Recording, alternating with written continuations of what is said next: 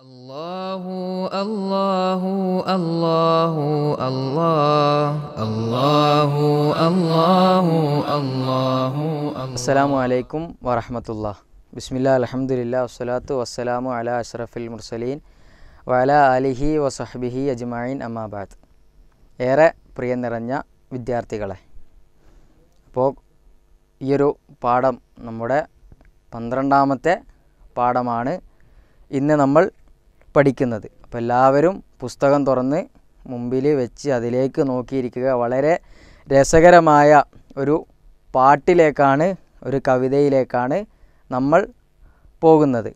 അപ്പോൾ നമുക്ക് ആദ്യമായി എല്ലാവരും പുസ്തകത്തിൽ നോക്കിയിരിക്കുക. നമുക്ക് ആദ്യമായി കൊണ്ട് ആ കവിത നമുക്ക് എന്ത് ചെയ്യാം? ഒന്ന് കേൾക്കാം.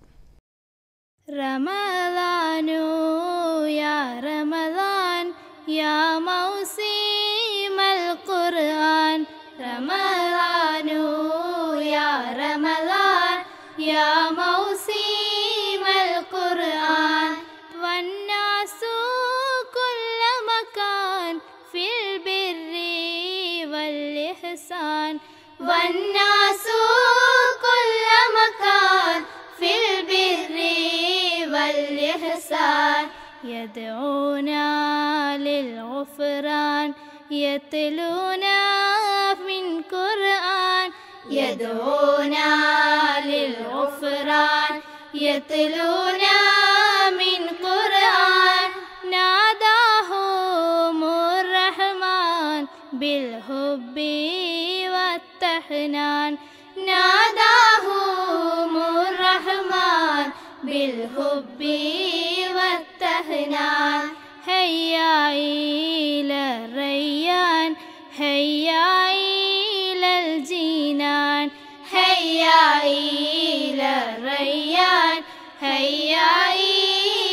ജീനാൻ യാ യാ ഖുർആൻ യാ യാ ഖുർആൻ എല്ലാവരും വളരെ മനോഹരമായ ആ ഒരു കവിത നമ്മൾ കേട്ടു. നമുക്ക് ഒന്നുകൂടെ അത് നമ്മൾക്ക് കേൾക്കാം. അപ്പോൾ ഓരോ വരിയും പാടുമ്പോൾ അതിന്റെ കൂടെ നിങ്ങളും എന്ത് ചെയ്യണം? അത് ഏറ്റ് ചൊല്ലണം. ഓക്കെ? നമുക്കൊന്നുകൂടെ ആ വരികളിലേക്ക് ഒന്നുകൂടെ പോകാം. അത് കേൾക്കുമ്പോൾ നിങ്ങളും എന്ത് ചെയ്യണം? അത് വരിയോടുകൂടി നമ്മളും ഏറ്റ് ചൊല്ലണം. റമദാനോ യാ റമദാൻ യാ മൗസീമൽ ഖുർആൻ. യാ യാ മൗസീ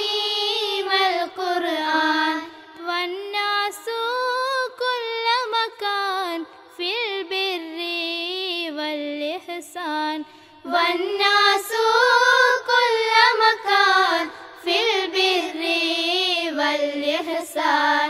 يدعونا للغفران يتلونا من قرآن. يدعونا للغفران يتلونا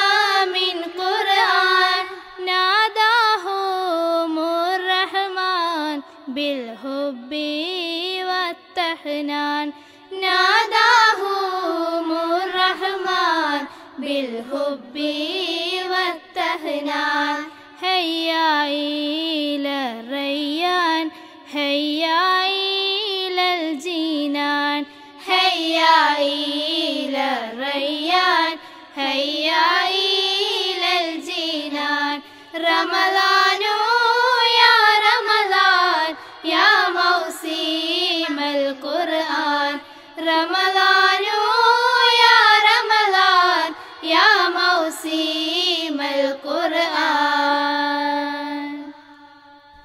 അപ്പോൾ നമ്മൾ ആ ഒരു കവിത വളരെ മനോഹരമായി നമ്മൾ എല്ലാവരും ഏറ്റുചൊല്ലി. ഇനി നമുക്ക് ആ കവിതയുടെ ആശയത്തിലേക്ക് അർത്ഥത്തിലേക്ക് നമുക്ക് ചെറുതായിട്ടൊന്ന് പോകാം. അല്ലേ? അപ്പോൾ എല്ലാവരും പുസ്തകം നോക്കുക.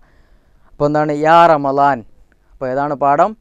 യാ റമലാൻ റമലാനെ അല്ലേ? യാ എന്ന് പറഞ്ഞാൽ നമ്മൾ നേരത്തെ പഠിച്ചു. എന്താണ്?